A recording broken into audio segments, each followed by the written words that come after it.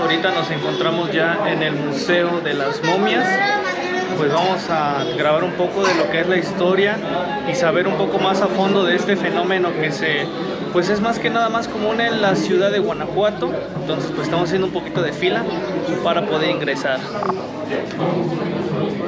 Ahorita nos vemos dentro del museo con todos los difuntos que hay ahí. Bye. La palabra momia desciende del persa mun, cera, mumia, algo impregnado de cera, y luego del árabe mumilla, sustancia usada para embalsamar. Momia se denomina a los cadáveres de seres humanos o de animales que por circunstancias naturales o mediante embalsamiento se ha mantenido en aceptable estado de conservación mucho tiempo después de la muerte. Existen regiones y lugares que por sus características de sequedad extrema, frialdad, aislamiento de la intemperie o de los microorganismos causan que un cadáver se momifique en lugar de que se degrade por completo, como sucede normalmente en casi cualquier parte de la biosfera terrestre. Las momias de Guanajuato son naturales, ya que no pasaron por un proceso de conservación o embalsamamiento, y su estado de momificación se explica por la inexistencia de intercambio de oxígeno y humedad con el exterior de las gavetas. En la oscuridad del recinto cultural yacen en vitrinas los cuerpos inertes de personas que vivieron durante los siglos XIX y siglo XX y que fueron enterradas en el Panteón de Santa Paula. Las momias que se exhiben pertenecen a gente cuyos familiares no pagaron los derechos de perpetuidad, por lo que debido a la falta de espacio en el panteón fue exhumada y pasaron a formar parte de la colección que integra este museo. De pie y ataviada con un traje de saco, chaleco, camisa y pantalón, se encuentra la primera momia descubierta en 1865.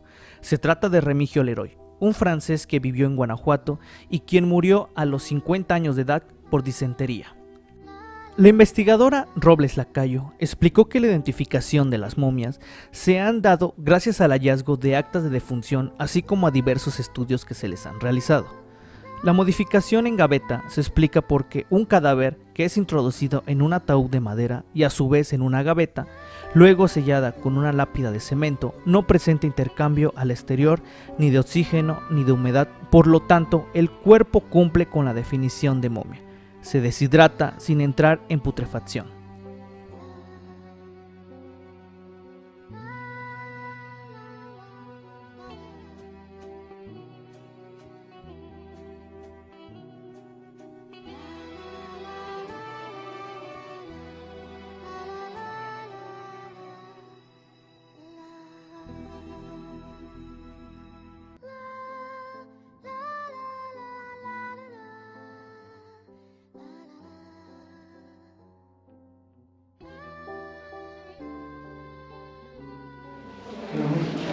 Estos tres cuerpos los exhiben aparte y están acostados, ¿por qué?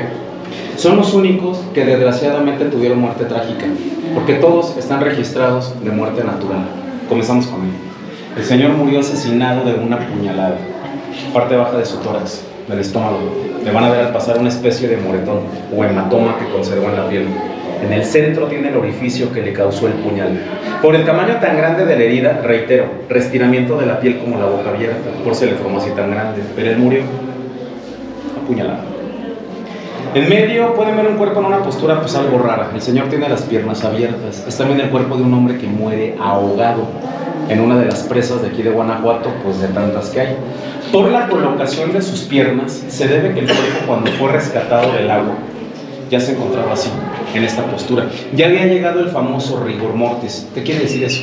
El cuerpo ya estaba en completo estado de rigidez, completamente tieso en la postura en que lo están viendo. Ya fue imposible enderezarle las piernas, cruzarle los brazos, pues mínimo para sepultarlo normal. Pero como pueden ver, así se logró conservar a lo ancho de su ataúd. ¿Qué hicieron? Lo metieron a presión en su caja al momento de sepultarlo. De hecho, no sé si ya distinguieron Veanle del cuello hacia el cráneo todo el color oscuro que tiene. Morado. Cianóptico que recibe todo cuerpo cuando muere de asfixia o cuando muere ahogado. En este caso, Chéquese a la señora. Lamentablemente esta pobre mujer, a ella sí la sepultaron viva. Pero ¿saben qué lo más triste? Es que fue por una equivocación e ignorancia de su propia familia. La razón La mujer que están viendo en vida padecía de ataques una enfermedad que se llama catalepsia. Miren, si no saben lo que es la catalepsia, no es más que la ausencia de todos los signos vitales, como si el cuerpo estuviera en completo estado de coma. Prácticamente el cuerpo permanece estático. No confundirlo con la epilepsia, es que mucha gente la confunde. La epilepsia, el cuerpo se convulsiona. Los ataques que le daban eran bien continuos. Por lo regular le duraban 24, 36, 48 horas. Pero la señora pues volvía a reaccionar. Pues un día no le para la enfermedad y le comienza a avanzar. Le da un ataque de mayor tiempo, 72 horas, poquito más de 3 días. Su familia, creyendo a la muerta por ignorancia, toma la decisión, agarran el cuerpo, sepultaron. Pasan los seis años, se olvidan de ella, no le compran la cripta, lo mandan sacar. Fue mayúscula la sorpresa de los señores panteoneros al abrir el ataúd. Sí encontraron el cuerpo conservado, pero la señora estaba boca abajo. Posición que le están viendo ahora. Brazos cubriéndose el rostro. Hasta entonces se dieron cuenta que el cuerpo había sido sepultado vivo, pues, lógicamente por la postura en que lo encuentran. Pues jamás se ha visto el caso y se va a ver, bueno, no sé ustedes, si hayan visto que sepulten a una persona tapándose la cara. Pues ¿para qué? Mucho menos boca abajo. Ya vieron el volumen del cuerpo, fue muy obesa. Mucha gente pregunta que por qué le encontraron boca abajo.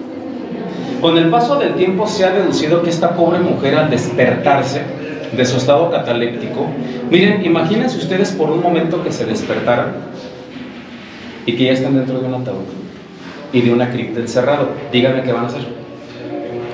De antemano sabes que hagas lo que hagas y te tienes que mentalizar de que ahí te vas a morir. Dime cómo sales. La pobre señora lo último que hizo y como pudo se dio la vuelta. ¿Para qué?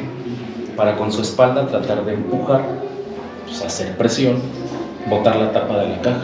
Nunca lo iba a hacer. Los ataúdes son sellados.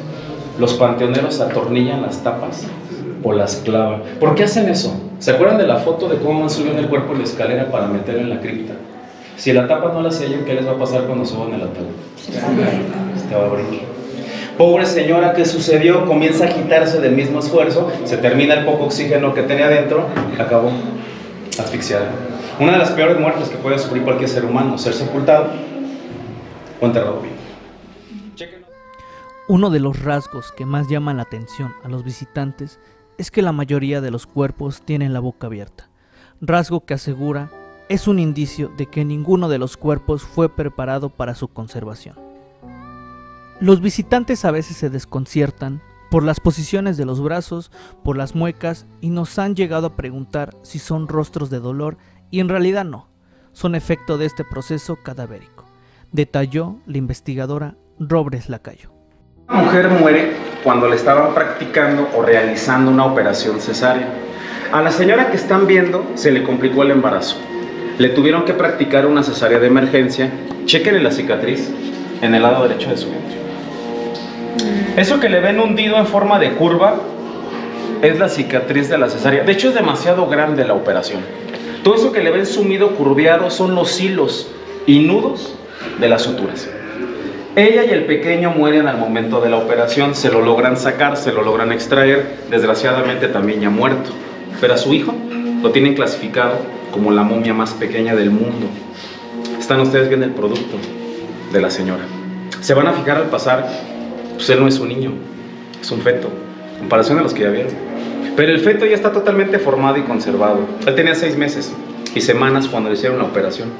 Chequen al pasar, pues ya tiene formado brazos, manos, piernas, dedos, las orejas. Vean esto, conserva los ojos. Pequeñito conserva las pupilas.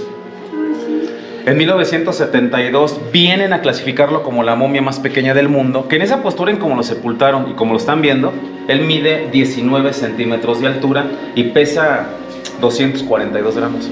De hecho, los dos los sepultaron en la misma cripta y en el mismo ataúd. Los dos se conservaron juntos. Vean a su madre, conserva la lengua.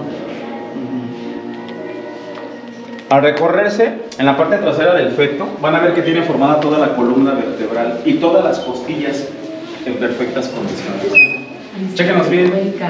Tomen sus fotos, pasamos.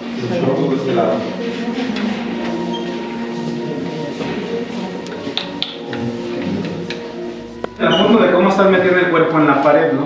Miren, en Guanajuato, desde hace más de 180 años hacen eso, y hasta el día de hoy.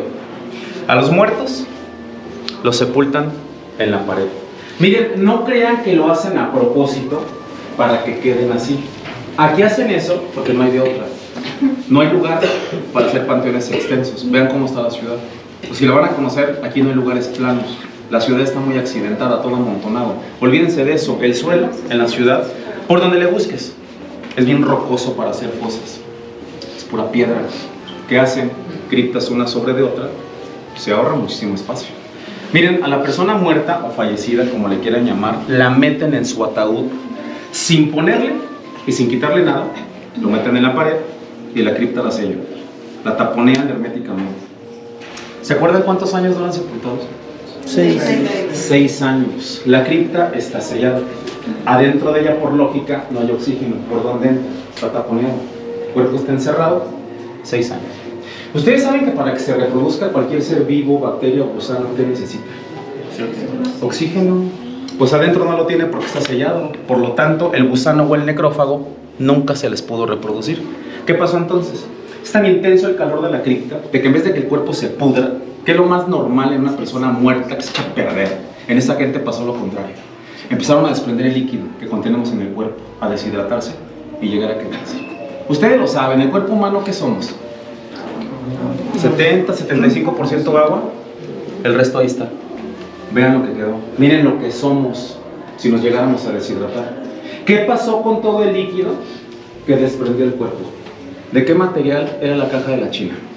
Madera. ¿Qué hizo la madera? Absorbe todo. Lo absorbe. Y lo más importante, aparte de absorberlo, es que lo filtra. Y es más factible que el cuerpo se haya deshidratado. ¿Por qué creen que todos tienen el vientre sumido? ¿Sí lo notaron? Ellos no conservan nada interno. Por dentro están completamente huecos. ¿Qué le pasó a sus vísceras? Órganos, cerebro, la sangre. Miren, es que todo eso es blando. Se evapora por ser agua. Miren, el vientre ya no tiene nada que lo sostenga, desciende, cae, y es por eso que a todos con su abdomen completamente sumido. Para terminar, les dije al principio que mucha gente viene con la creencia o han vivido por años porque les dicen que la tierra de Guanajuato los conserva que porque tiene minerales. Me imagino que algunos de ustedes alguna vez han visto o se dan una idea de cómo sepultan a una persona en la tierra, ¿no?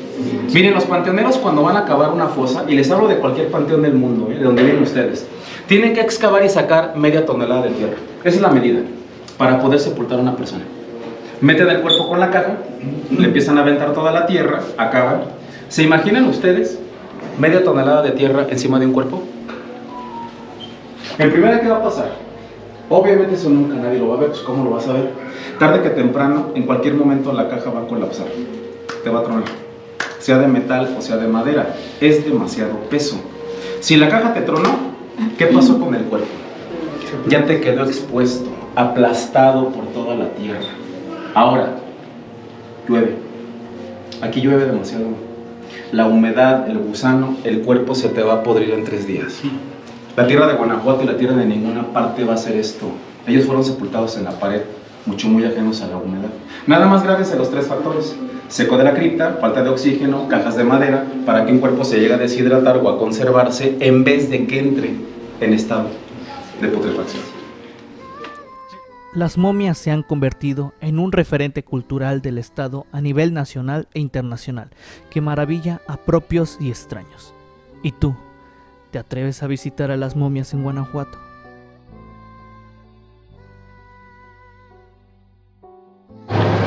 Pues bueno amigos, esto ha sido todo de parte del video del Museo de las Momias. Entonces amigos, pues espero que les haya gustado la explicación del guía y que se hayan quitado todos esos mitos acerca de la momificación. Y pues nada, ahora sí que pues, los dejamos aquí con una pequeña exhibición del culto a la muerte. Y recuerden suscribirse en Frascados Podcast. Nos vemos amigos. ¿Qué dice? Ese feto encontrado en la tumba de su madre se suicidó a causa de su embarazo sin estar casado, haciendo que todo el cuerpo se desintegró y solo el feto permaneció. Ese feto. Ay, cabrón. Ay, ese chingado, es cierto.